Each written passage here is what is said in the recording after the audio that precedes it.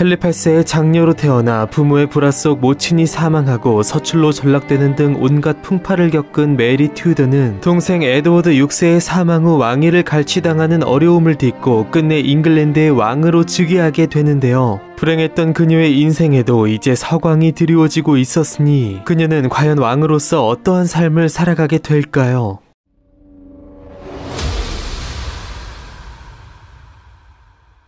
즉위 당시 37세였던 메리 1세는 어릴 적부터 불행한 일들을 끝없이 겪은 탓인지 이미 건강이 좋지 않았고 작고 깡마른 몸매에다 근시 때문에 생긴 눈살을 찌푸리는 버릇과 그로 인해 생긴 많은 주름 등 외모 또한 볼품 없었는데요. 무엇보다 그의 부친 헨리 8세가 종교개혁을 일으킬 당시 내 외부의 카톨릭 세력이 메리를 구심점으로 반발할 것을 우려하여 그녀의 혼사 제안을 모두 거절해버렸기에 불행히도 메리는 이 당시까지 노처녀로 남아 있었습니다. 특히 어머니 캐서린이 이혼당하여 쓸쓸히 죽고 자신 역시 아버지에게 버림받는 등 파란만장한 삶을 살아온 그녀이기에 메리 1세는 즉위와 함께 어머니의 명예와 그들의 종교인 카톨릭의 권위를 회복시킴으로써 자신들이 겪은 수모를 조금이나마 보상받고자 했는데요. 한편 메리는 자신이 자녀를 낳지 못할 경우 신교 성향의 이복 여동생 엘리자베스가 후계를 잇게 되어 있었기에 자신이 일구어낼 잉글랜드 내 카톨릭의 지위를 유지시키기 위해서라도 반드시 카톨릭 교도와 결혼하여 자녀를 낳아 그로 하여금 후사를 잇게 해야만 했습니다. 여왕의 남편 후보로 처음 거론된 사람은 메리가 실제로 연정을 품기도 했던 레지널드 폴 추기경이었으나 그의 나이가 이미 50을 넘긴 만큼 무리가 있었고 대신에 그는 캔터베리 대주교가 되어 메리와 함께 카톨릭의 부활을 주도하게 됩니다.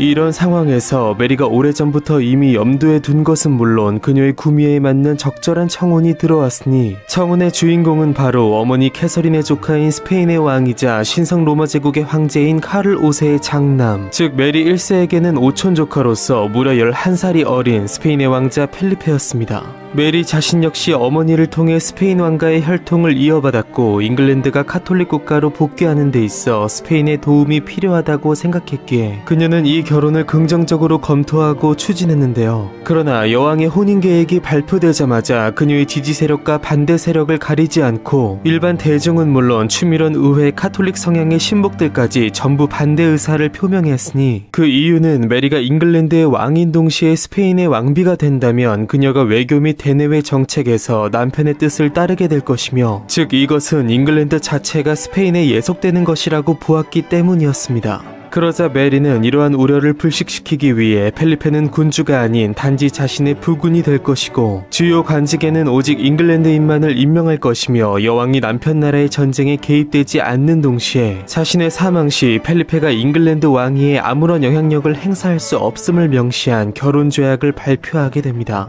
그러나 이러한 약속만으로 외국 군주와의 결혼에 대한 불안감은 완전히 종식될 수 없었고 급기야 영국시 황금기의 기반을 닦은 대 토마스 와이엇의 아들로서 여왕이 결혼을 강력히 반대한 소 토마스 와이엇은 신교도인 엘리자베스 공주를 새 군주로 위시하여 사천의 병력을 대동해 런던으로 진격하는 등 반란을 일으키게 되는데요. 다행히 반란은 진압되었으나 자신을 향한 이러한 군사적 반발에 충격을 받은 메리는 펠리페와의 결혼을 위한 사전 준비 준비 작업으로서 자신의 결혼에 반대하는 세력들, 즉 대부분 신교도인 그들에 대한 숙청 작업에 돌입했고 이 반란에 제인 그레이의 부친 서퍽 공작이 가담했음이 드러난 만큼 제인에게 권력에 대한 야심이 없음을 알고 있었음에도 신하들의 강권에 못 이겨 잠재적 위험 인물인 그녀를 처형시키게 됩니다. 한편 반란군이 위시했던 엘리자베스 공주는 런던 탑으로 압송되어 넉 달 동안 감금되어 있었으나 그녀가 거짓 개종 등 나름의 교묘한 처신을 보인 것은 물론 메리 입장에서도 설사 자신이 후사를 낳지 못할 경우 유일한 후계자인 엘리자베스마저 왕위를 잇지 못한다면 잉글랜드가 다시 내분 속으로 빠질 염려가 있었기에 결국 심복들의 반대에도 불구하고 그녀를 풀어주었고 엘리자베스는 지방에 칩거하며 후일을 기약하게 됩니다.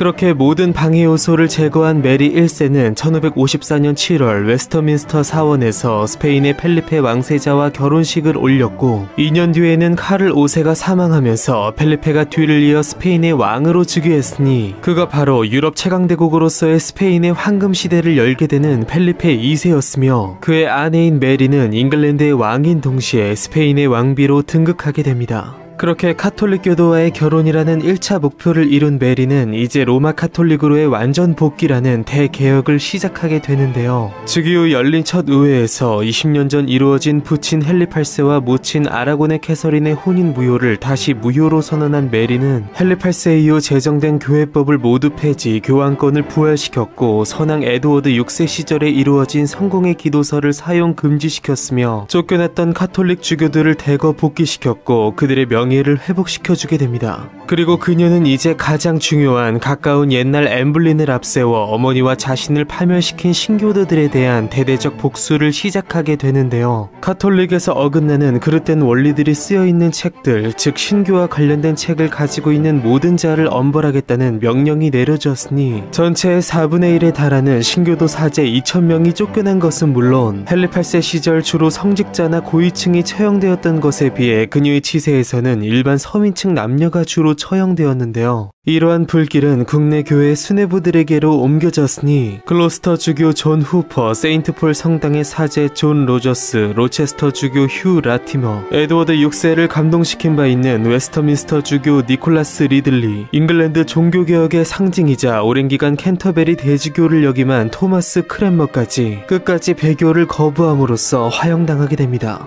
그러나 이러한 엄청난 탄압에도 불구하고 메리의 종교개혁은 결과적으로 실패했으니 우선 그의 부친에 비해 메리는 교회 조직을 다시 크게 재편할 시간과 자본이 절대적으로 부족했고 반대를 무릅쓰고 스페인의 왕자와 결혼한 메리에 대해 의회가 불만을 품었기 때문인데요. 더군다나 이러한 메리의 신교도에 대한 박해는 표적의 대상이 주로 고위층이 아닌 서민들이 됨으로써 불만을 산 것은 물론 역설적이게도 구교에 비해 비교적 짧은 역사로 인해 순교의 신화나 영 영웅이 부족했던 신교도 신앙에 활력을 불어넣음으로써 오히려 그들을 결집시키는 의외의 결과를 낳게 됩니다. 무엇보다 이처럼 짧은 기간 동안 귀족과 서민을 가리지 않는 수백 명에 대한 무차별적 처형은 이를 지시한 여왕에게 피의 메리라는 별명을 붙여주었고 이것은 훗날 붉은색을 띠는 칵테일의 이름 블러디 메리의 유래가 됩니다. 한편 이러한 민심에 불을 붙이듯 스페인의 왕으로 즉위한 메리의 남편 펠리페 2세는 대프랑스 전쟁에서 잉글랜드의 지원을 받기를 원했고 의회는 결혼 전 메리가 내세운 결혼 조약 즉 여왕이 남편의 나라의 전쟁에 개입되지 않도록 하는 조항을 내세워 전쟁 개입에 반대했는데요. 그러나 스스로의 약속을 무참히 저버린 메리는 의회의 거센 반대에도 불구하고 남편을 위해서 잉글랜드의 국익과 무관한 스페인 프랑스 전쟁에 참전했고 그나마 승리해서 무언가 얻기라도 했으면 좋았건만 전세는 끝없이 불리하게 돌아갔고 결국 비참한 결과를 낳았으니 백년 전쟁의 결과로서 200년간 지켜온 유럽 대륙 내 남은 잉글랜드의 마지막 영토 무엇보다 양모 거래의 중심지로서 국가 세수의 30%를 차지하는 엄청난 경제적 가치를 지닌 잉글랜드민의 자존심 칼레를 상실하게 됩니다. 더군다나 이 불필요한 전쟁 수행을 위해 백성들로부터 많은 세금을 걷어들였고 그에 보답하는 작은 성과조차 내지 못하고 오히려 크나큰 손실을 가져왔으니 종교 탄압으로 인한 혼란과 더불어 경제마저 악화되면서 멜에 대한 민심은 끝을 모르고 추락하게 됩니다.